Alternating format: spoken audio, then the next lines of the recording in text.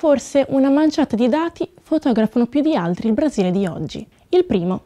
Nel 2022 33 milioni di persone faticano a sfamarsi. Si tratta del 15,6% dell'intera popolazione. Queste cifre diventano più significative quando si aggiunge che le persone in difficoltà sono 23 milioni in più del 2019 cioè sono passate da 10 milioni a 33 milioni sotto la presidenza di Jair Bolsonaro. Dal canto suo, Bolsonaro sbandiera altri numeri, soprattutto sull'aumento delle esportazioni e la crescita del PIL.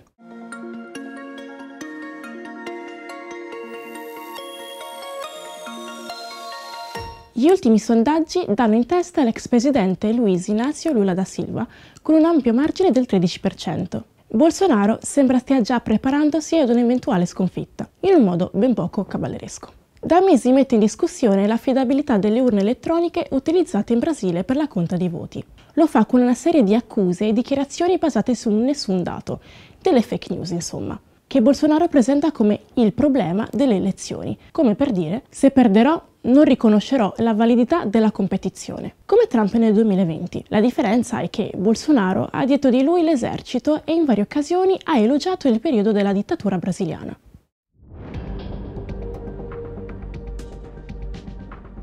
A 76 anni, Lula potrebbe prendersi la sua rivincita dopo la condanna per corruzione nel 2016, che gli valse 580 giorni di detenzione. La condanna fu poi annullata e ora Lula può tornare in campo ma non è più visto come il paladino delle masse e icona della sinistra come negli anni che lo videro al potere tra il 2003 e il 2011. Gli viene spesso rimproverato di aver abbandonato le vecchie bandiere della sinistra, i lavoratori, i poveri e i movimenti sociali, per spostarsi verso la borghesia nazionale. Per molti questa linea più cauta serve a tenere a bada le forze conservatrici che controllano la macchina statale brasiliana, forze che l'avevano neutralizzato per via giudiziaria e con cui può essere più strategico cercare uno scontro meno frontale che in passato.